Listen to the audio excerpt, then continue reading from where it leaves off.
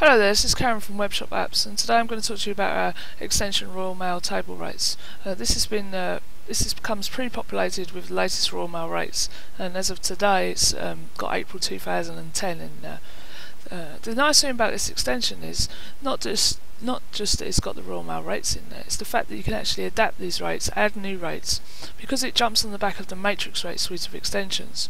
It also has some product specific shipping, so for example, if you sell something which you can send in a letter packet, uh, a letter, sorry, then it will actually let you do this. And it, or you can say, oh, this only goes via packet, and it'll actually provide rates as appropriate.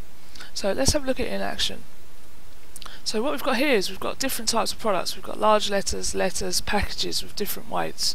Um, the extension will support all these scenarios and it uses a CSV file so you can actually adapt it to your own specific needs.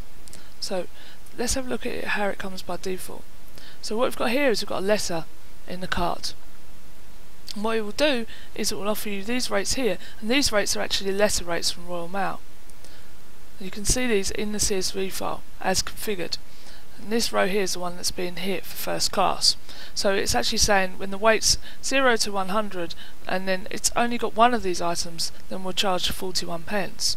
But if you actually said, oh actually I can put five of these items in and still charge only that 41 pence, then it would still work.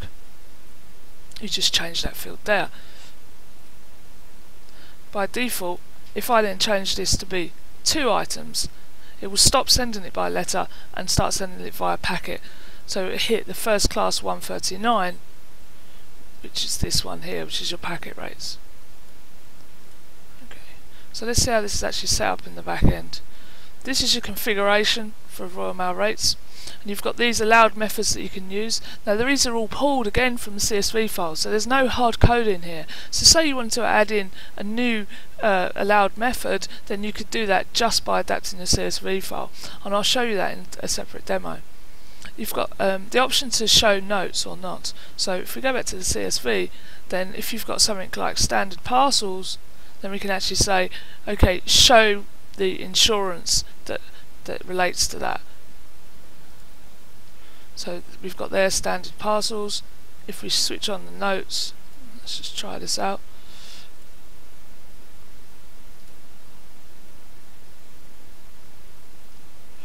You get the longer things, which is about the insurance. And the insurance is price specific. Then you've got other options, the standard shipping options, such as calculate handling fee. So if you want to add a surcharge on for your packing, then you can do that. And that's either fixed or percentage. Okay. Now in your product listing, there will be a shipping tab, which is where you can set the shipping group.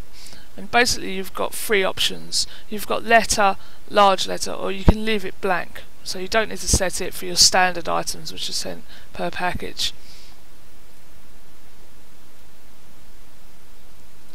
Now, if we add in something a little bit larger, then what will actually happen is it will default to the package level.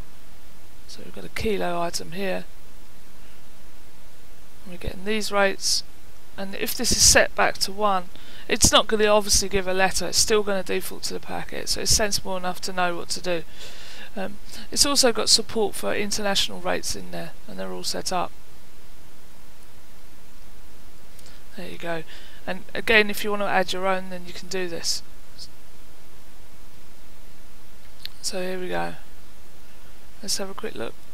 If you want to put the countries in, all the countries can go on one line. So here we've got Europe, and we've got all of these countries on one line. So it makes the, CSV file a lot smaller.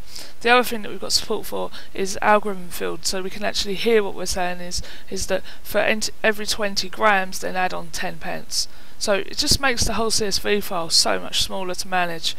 Generally, if you're just using standard Royal Mail rates, then you won't actually need to manage it yourself. It'll come preloaded, and then when new Royal Mail rates come out, then we'll send you over the new file. You just upload that file and you're away, you're up and running with the new rates. You can see here we've only got 200 rows in the whole file, and these are all the Royal Mail ones. We're also shortly um, going to be adding in the um, franking and account rates. That should go in within the next couple of days. Thanks very much for your time.